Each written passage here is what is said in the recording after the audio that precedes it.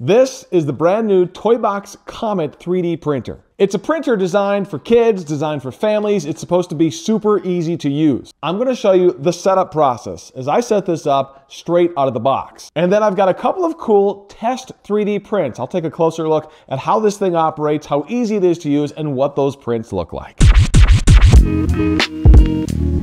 Tech it before you wreck it. What's up, geeks? I'm Kirk, and maybe you got here because you saw my unboxing video of the Toybox Comet 3D printer. If you missed it, I've got a link in the description and up at the top of the screen. But this is the next step now. We're gonna go ahead and set up this printer. I'll show you that whole process using my phone, using the app, and then we're gonna test out some 3D prints. I'll show you how easy it is to print and what those prints look like with minimal tweaking, minimal adjustments straight out of the box. So without further ado, let's get right to the testing testing and get this 3D printer set up. So when you plug the printer in, you will notice this screen that says, hey, go to make.toys slash welcome to get started. So I will do that and I'll show you what it looks like on my phone. I go to the website and it actually says, hey, use the app for the best experience. So I'll click on the Google Play Store and I'll use the app, which is already installed. So I'll open it up. In the app, you can tell it to add a new printer. When you do that, you'll get this screen. Make sure you select set up your toy box because that will allow you to initially connect the toy box, which uh, of course you pick which toy box you have have. It'll give you some instructions if you haven't assembled it yet. And then it'll use Bluetooth. You hit connect your printer here, it'll use Bluetooth to find the printer. And notice it detects mine right there. I'll tap on the printer. And then what it does from there is it actually brings up a connection request on your phone to connect via Bluetooth. You'll want to pair and connect. It doesn't need access to your contacts, so you don't have to allow that. And then it'll show you all your Wi-Fi networks because you do want to type in your Wi-Fi password. This printer does need to connect to your Wi-Fi network so you can wirelessly print to the printer directly from the app.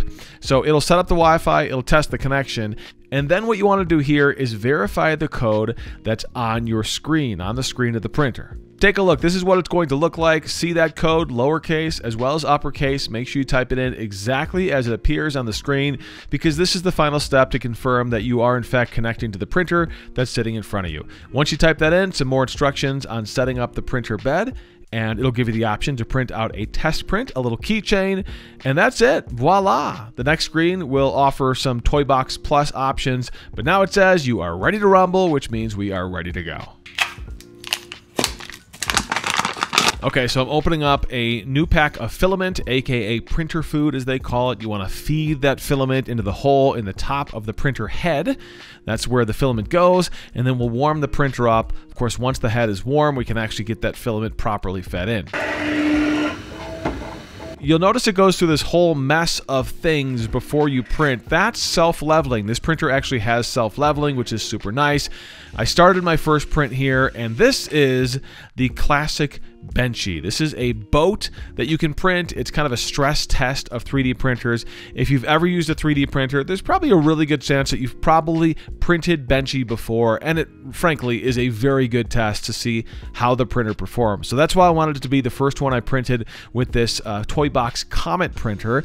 And there you go, voila, Benchy is now done, and you can see how this came out. Let me pick it up and give you a closer look at what we have here. And it looks good. It doesn't look perfect by any stretch of the imagination, but it came out pretty good, especially straight out of the box without any adjustments on the printer itself. Look inside, you can see there is some stringiness going on there, and perhaps that's something we can fix with some tweaking.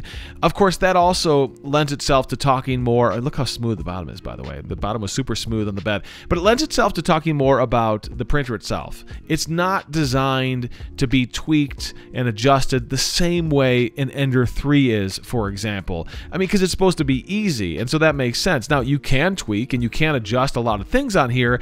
It's just not as exposed as it would be on a different 3D printer. But nonetheless, I'm pretty happy with the way Benchy turned out. Here's another print. This is called Floppy Dude 2.0. That's the exact name of the print. You'll see when it comes out of the printer, it's on the printing bed. You sort of have to crack it off. This is a good test because this one has a lot of moving hinges to it. You'll see the legs there have moving hinges. They all print ready to go, uh, floppy and moving, if you will. I got to be really careful as I break this off of the printing bed. If you've done 3D printing, you're familiar with this. Bending the bed like this is often the best option because that's the gentlest way of, of breaking this print off the bed itself.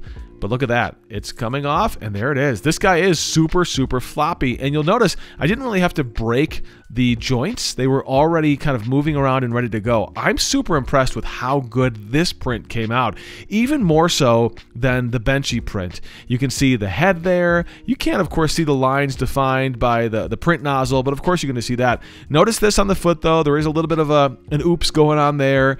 Common with 3D prints, this printer is not perfect. You'll want to snip that with the snippers and then maybe give it a little bit of sand. But look at all the moving joints and look how well this printed with those moving joints.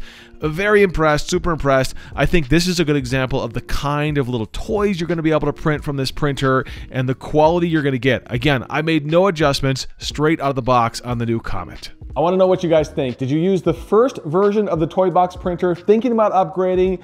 Did this give you second thoughts or are you now convinced? Do you have more questions about the Toybox Comet printer? I read every single comment, so go ahead, throw those comments below and make sure you subscribe to this channel. I've got a lot more cool, techie, geeky videos coming your way here on Tech It Before You Wreck It. I'm Kirk.